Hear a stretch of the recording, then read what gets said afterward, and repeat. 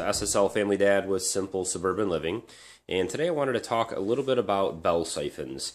Um, so there's this is one of the things that when I first uh, started looking into aquaponics, I had kind of the most questions about how they work, why they're needed, uh, what what's all this about bell siphons. So I'm going to try to to run through all the things that I found important uh, when I was first setting up the system and kind of talk about what a bell siphon is, what it's used for, what types of materials you need to use, how you need to set them up, give some tips and tricks on how to adjust them and how to set up your system so that they'll work well. Um, just with some things that I found over running this system here. So what we're looking at is um, just a few things that you can use for bell siphons and then some of the components that I am currently using. So I've seen some videos out there with people using pop bottles for bell siphons, uh, one liter water bottles. These are this is a one liter like Sprite or Coke bottle. This is a regular two liter um, Pepsi bottle or Coke bottle, whatever you wanna want to use. You can use those as bell siphons. Um, what I'm currently using here is this two inch PVC pipe with a cap on the top. Um, that's what I've been using. That's been working great. And here is just a guard um, that I'm using in mine, kind of a rough guard to keep the rocks uh, in the grow bed away from uh, from the bell siphon. So these are just the kind of the components that we're dealing with today, and I'm going to go in a little closer and talk a little bit about um, uh, what the bell siphons are and kind of how they work. Okay, so just taking a step back here from the, the grow beds. I've got one that's empty here that I'll show you the inside of in a moment. Um, this one here is full and obviously growing things. So the purpose of the bell siphon is basically to allow the grow bed to fill completely up to the top with water and then drain all the way out. And that allows air to get to the roots of the plants. If you just filled these up um, and let the water sit in them, obviously the the uh, plants would rot, the roots would rot, they wouldn't be able to get oxygen, they would die. Um, the other option, like in hydroponic systems with different types of setups, you can run pumps that will turn on and turn off so that you, you know, get a fill and a drain type of a thing using a timer on a pump. You can do that as well. Um, and a lot of other types of systems have that. With these particular, this particular type of system, um, all these grow beds here, this is a flood and drain system. It's designed to run with a bell siphon. So they're actually pretty neat little devices. And just to kind of look in here, this is my center drain pipe, and I've got it terminated through the bottom of the barrel with a bulkhead adapter. Um, a lot of people have talked about those uni seals and other types of um, terminations that you can use to go through the side of barrels and tanks. Um, I haven't used the uni seals, but I can tell you that since we're filling this grow bed with rock, that I didn't feel comfortable using a non-rigid seal. So these bulkhead adapters, they are more expensive, but these are screwed in and siliconed, and uh, I've never had a problem with any of my fittings leaking. So I would recommend them, um, especially if you're putting together a permanent system that you're not going to be taking apart or anything like that. The uh, bulkhead adapter is the way to go. So just a side note on that.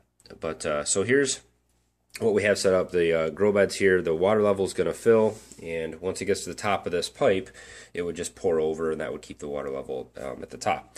Um, but using our clear plastic two liter bottle here, you can kind of see. So, how the bell siphon works is as soon as the water level gets up to the top of this pipe, it starts to pour over and go down the drain. Um, it starts to suck in a little bit of air and create kind of a suction at the top of the of the bottle. So the water level kind of raises up until there's no air left and then it sucks down and starts to siphon. It siphons out very fast and it'll drain the, the grow bed all the way down to the bottom. The water is coming in through some notches that you put in the bottom of I don't know if you can see that on this background here. Let's move it over to something you can see. There you go so you can see kind of the U-shaped notches that I have on the bottom of this bottle. And that's where the water draws in at, right at the bottom. So it'll suck the water level all the way down to, to the bottom. Now I'm not using these two liters or these type of pop bottles. I'm just using this as a demonstration. What I've found works really, really well is just the PVC pipe. This is just a two inch piece of PVC pipe with a cap on the top and some very crude hacked up notches in the bottom. In fact, when I built these, I said in my first video, these were just going to be temporary, and I was going to make some nice looking ones. Well, these things have worked so well, I just don't see the need. So they don't look great, but they work very well. Um, so same type of thing. This sits in, in the water there, and you can't see it, of course, but the uh, water level would rise up to the top, and it creates a suction here, and then um, this works the same way. So um, the reason I don't like using, didn't try using the pop bottles is number one, I had scraps of PVC left over from the system anyway. The caps are only like a dollar, and these things aren't very rigid. So when it creates a suction, you actually get some flex in the in the uh, this type of plastic. So they don't really work that well. Um, I can't imagine as a permanent solution that they would be they would be that great. But it is a way you could design a system using kind of sustainable materials. So, but uh, I'm going to go ahead and fill up this grow bed and then show you the, the bell siphon in action. And then I'll give you a few tips about uh, how to design the, the drain pipe here so that they, they siphon all the time.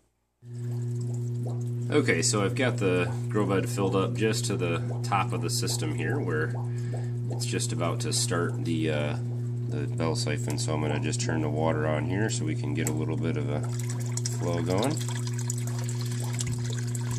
And this is where kind of all the adjustment in that comes in, but um, I'll talk about that here in just a minute. So as the water starts to pour over the edge of our pipe here, it's going to start to draw all the air down in the top of the um, bottle there and start to create a little bit of a suction. You actually you can see the water level is higher in the inside of the bottle than it is out in the grow bed. It's already it's already starting to boil over the top there. So it's just about ready to start. Okay, so now the, now the water's flowing over. I couldn't see it from this angle. So you can see the water level rising up in the inside of the container.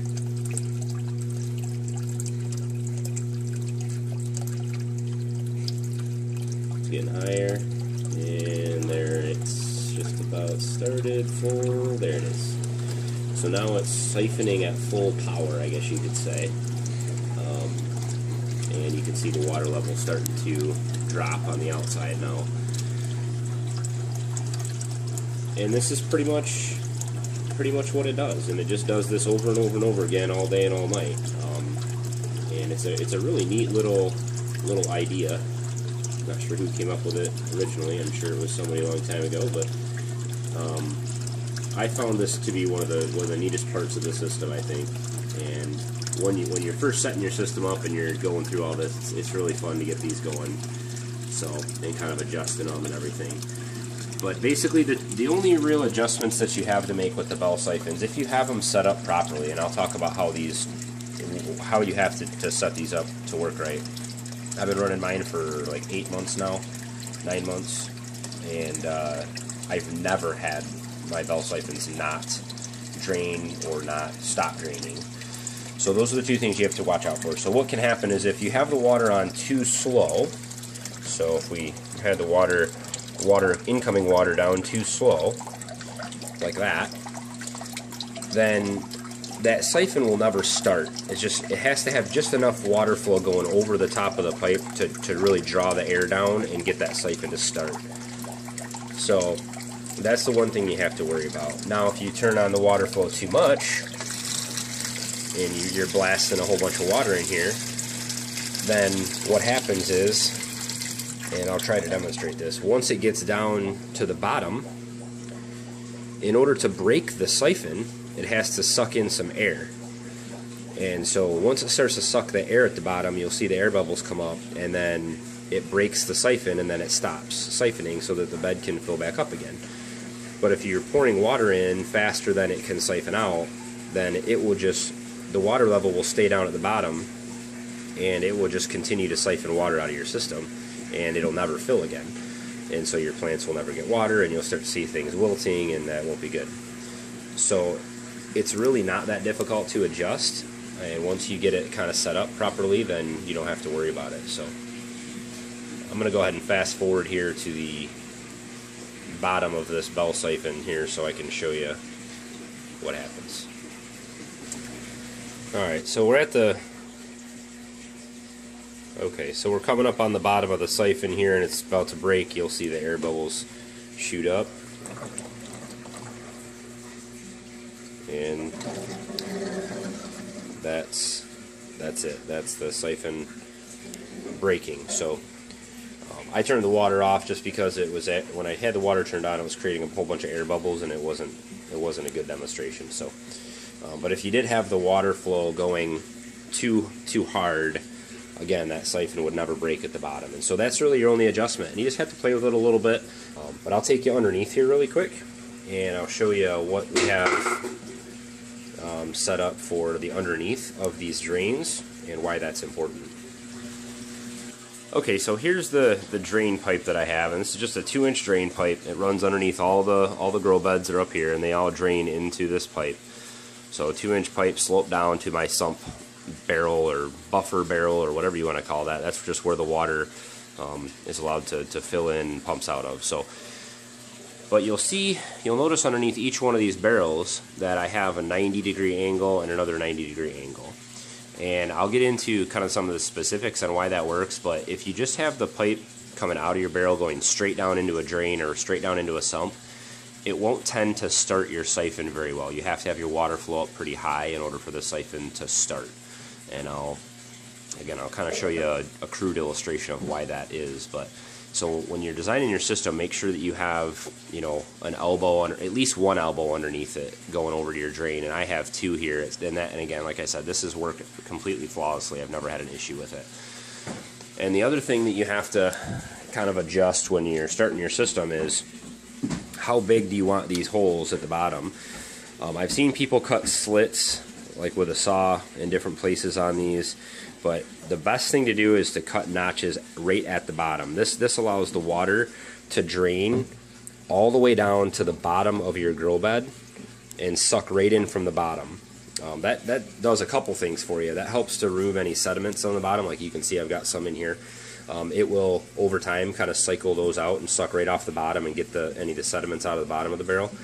And uh, it also just helps to keep that water level really low and it also helps to break the siphon at the end so if you're when you're designing the bell siphon I would recommend instead of doing like a like slits um, cut actual notches or drill holes right along the bottom or something like that um, this seems to work really well Okay, so I just want to take a couple minutes and talk about the kind of the reason for having that the extra angles underneath in your drain pipe, um, how that works, and why it's important to get your bell siphons to start and stop properly.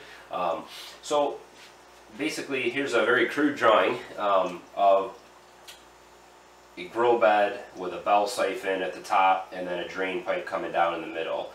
And what this shows is when your water level gets up to the top here and it starts to flow over the edge of the pipe, it kind of hugs along the edges of that pipe. And it allows for this air gap in the middle. And air that in that case can just kind of rush right back up the middle here and it never gets that suction at the top in order to start that, that, that siphon. And so air just keeps coming up here and you have to get your water flow rate really high in order for it to kind of overtake that airflow coming up and get the water to fill that whole pipe and get your siphons to start. So this this just I'm not saying it won't wouldn't work this way, but it does require you to have a lot higher water flow, and it also makes the bell siphons um, a lot finicky because then you have to have your water flow higher to get your siphon to start. But once it gets to the bottom, then it's very hard to get the siphon to break because you've got your water flow going so fast that it's filling it faster than it can siphon the water out, and it just keeps keeps running and then you've got no water in your grow bed, and then your plants obviously don't like that. So, so by adding those angles in here, um, what happens is the water will start to flow over the edges of the pipe, same thing, hug along the edges, but once he gets that first elbow or first 90 degree turn, it kind of churns up a little bit, it actually splashes up, and it starts to block that air that's trying to rush back up. And it does the same thing at the next elbow that you have, and uh, the water kind of splashes around in here and it, and it stops the airflow from coming back up to your pipe. And so you can get that siphon to start right away because you don't have that back pressure of air coming back in trying to stop the siphon. Um, this is what I've done and it has been working great. Like I said, I've never had my siphons not not stop or not start. They they're and they're not really finicky. I mean, I can adjust the water flow real fast or real slow and they seem to work pretty well no matter what I do. So um, this system is definitely the way to go from what I can tell. And uh, I would highly recommend that you that you do that with your drain. So don't have your drain pipe just going straight into a sump tank or something like that. Do, do the turns in it. Um, so just a little bit about you know, how, how should you adjust the flow rates and how often should the tanks fill or the grow beds fill and drain? Um, my system right now is filling, it takes about 10 minutes and 30 seconds for the water from the bottom to fill all the way up to the top. A couple seconds later, that siphon starts, and then it takes a minute and 30 seconds for it to drain all the way back out to the bottom. Um, that's been working really well for me. I haven't had any issues with plants wilting or not getting enough water. I haven't, and I've pulled a lot of roots out. Nothing looks rotten, and um, I haven't had, you know, not enough air getting to the roots or anything like that. So this has worked really well for me. Now something to consider, um, if you have plants that are just starting, like seedlings and things like that, you know, they're just up here at the top of your grow beds. The roots aren't real deep. And so they're only getting water, you know, right when it's at the top of its cycle. Um, so if you have a really young grow bed where you've just planted it out, you might even want to increase your flow rate a little bit so that the, the you know, maybe every five minutes it fills and drains so that they get water a little more often. That might be a good thing to do. And then as your plants get more mature, like my green peppers here and celery and the Swiss chard and stuff like that that I have, you can probably, you know, cut that water flow down a little bit and increase this time. I could probably increase my time a little bit too, to maybe 15 minutes. Um, because the roots of those plants, they're all the way down here at the bottom. And so they're getting water, you know, during the whole fill time and the whole drain time of that, of that cycle. And, and so it's not as big of a deal.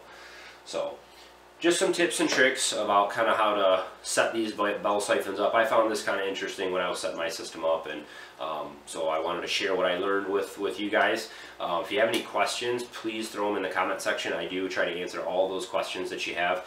Um, if you have comments, if you already have aquaponic systems, I know a lot of people who subscribe to the channel have aquaponic systems set up. You know, share with us what you're doing. You know, what kind of things are you um, doing to make your bell siphons work? Uh, is it different than this? What, what works and what doesn't work for you? Um, share that in the comments as well. So that really helps me and everyone else out. So um, hit thumbs up on the video if you found it informational at all. And uh, thank you for watching.